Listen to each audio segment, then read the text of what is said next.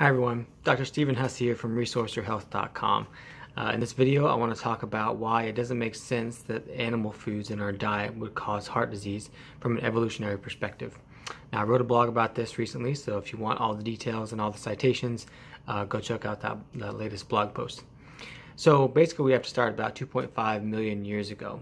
Uh, around that time, uh, the pre-human uh, hominin that was around uh, was called Australopithecus. Um, and so that was the only uh, pre-human um, thing around. And then it split into two things. It split into a species called Paranthropus and it split into the genus Homo, which would eventually become us. Uh, and the big difference between the two is that Paranthropus started kept eating plants.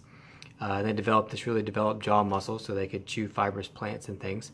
Uh, and Homo started eating animals. Uh, so we see evidence around that time that, that humans were hunting and killing animals, large mammals, uh, and largely getting all their calories from from those mammals.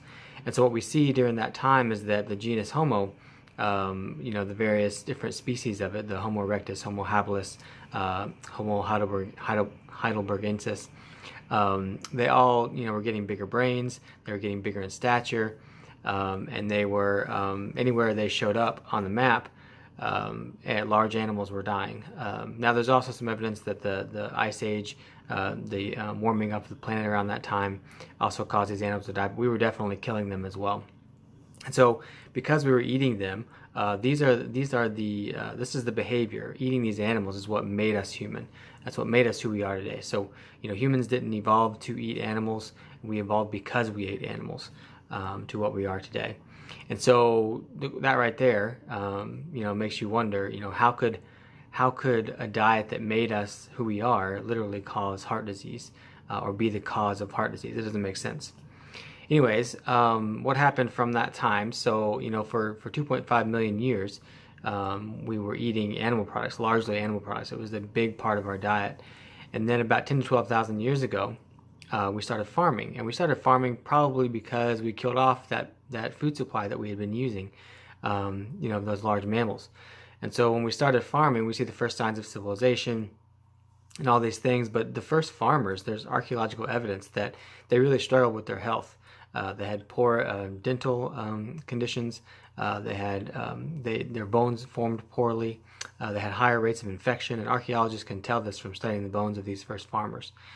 And so um, th- the thing though was is that the infection rates they were they were really high, uh, and that's likely because they weren't uh, relying on the fats. Uh, and the fats would increase their cholesterol as cholesterol fights off infections, and also fats very antimicrobial.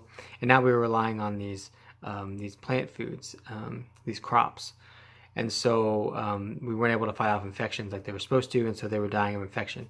And so um, infection was kind of hiding the long-term effects uh, as far as a as far as the human individual uh, is uh, concerned um, for, of eating a diet of, of mainly agricultural plants and crops um, because they were dying of infection too soon for them to realize or for the the uh, the chronic diseases that come later in age um, to develop.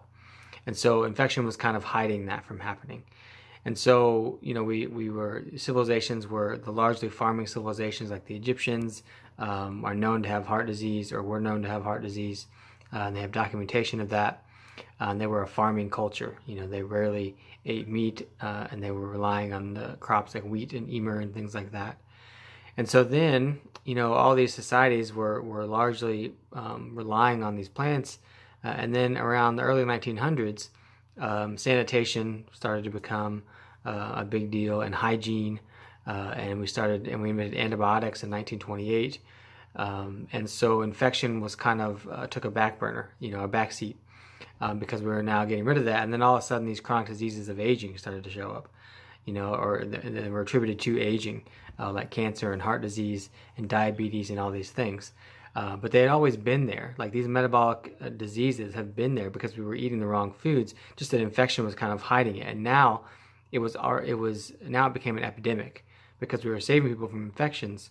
Um, but the the long term effects, as far as an individual lifespan, the long term effects of eating that diet um, based on uh, plant agriculture uh, was showing up, and it's showing up in the form of the the heart disease and cancer and and diabetes epidemic we have today.